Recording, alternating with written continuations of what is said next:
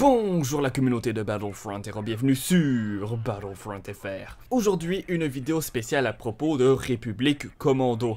Pourquoi je parle d'un jeu aussi ancien que celui-ci? Eh bien tout simplement parce que un studio qui se nomme Blackout Studio est en train de faire un remaster de ce jeu en ce moment même. République Commando est un classique des jeux Star Wars, un jeu fantastique qui a bien sûr malheureusement très mal vieilli avec le temps, donc le voir en train d'être remasterisé en ce moment me fait extrêmement plaisir, c'est une très très bonne nouvelle. Le studio a annoncé qu'ils veulent prendre leur temps pour rendre le jeu parfait, donc nous n'avons pas de date de sortie pour l'instant, mais tant mieux qu'ils prennent leur temps pour que le produit soit près de la perfection lorsque le jeu sera remasterisé. Donc je vous rassure ici, tout ce qui était dans la campagne de base sera bien sûr gardé. Donc le contenu original sera bien sûr transféré dans ce remaster, tout simplement rendu plus beau. En effet, ils ont montré plusieurs images que vous voyez depuis le début. C'est déjà beaucoup, beaucoup plus agréable à l'œil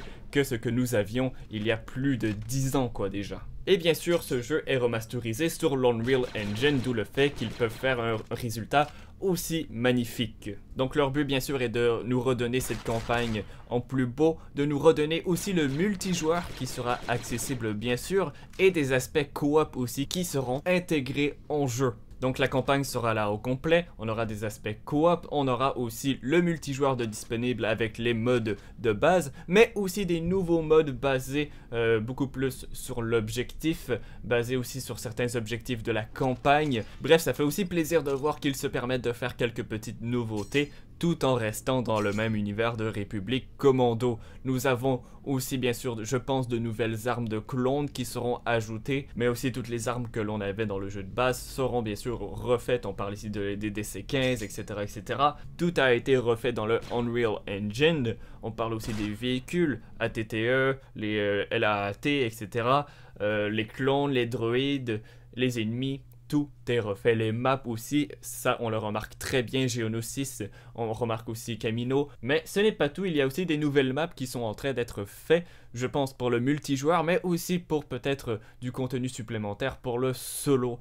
On a vu Mustafar qui a été réalisé sur leur Twitter.